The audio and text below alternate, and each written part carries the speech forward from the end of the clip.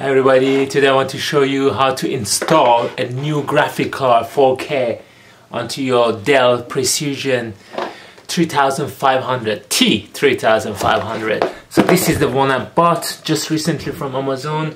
Or no I think it was another website but you can find it online. And search around and you find a cheaper one. Um, this is a low profile 2G it shows 4K it is called GeForce GT 1030 okay? So I'll go ahead and I will install it to my new computer.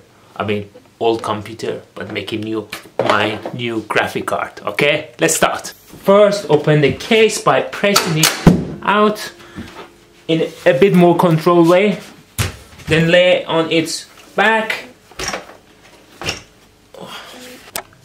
First we need to lift this by pressing these two towards each other and then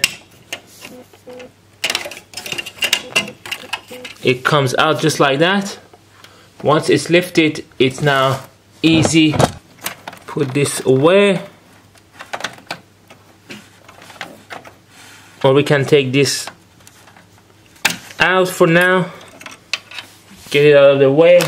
Get the graphical out from the package. Then just simply and easily.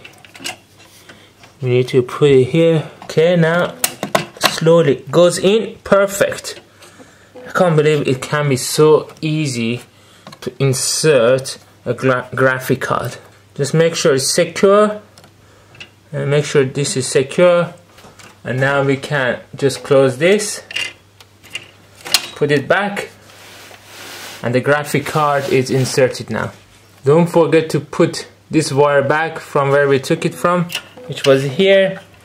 Just put it here so the mother will get will get some power